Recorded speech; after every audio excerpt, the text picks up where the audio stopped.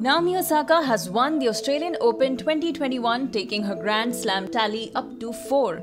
She beat Jennifer Brady 6 4 6 3 in the women's singles final of the 2021 Australian Open at the Rod Laver Arena in Melbourne. A pattern appears to be developing for the 23 year old tennis champion. She won the US Open in 2018, the Australian Open in 2019, then again the US Open in 2020, and now the Australian Open in 2021. In news that is being shared widely, German tennis legend Tommy Haas said he always knew Naomi Osaka would be a superstar the very first time he watched her play.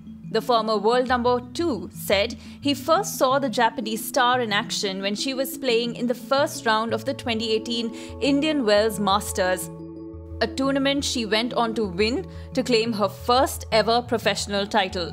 Osaka was playing Maria Sharapova, for whom it was the first match back after she was suspended. Haas remembers discussing with people, Wow, this girl is really, really good. I think she has a chance of getting far here. Next thing you know, he said, she wins the tournament.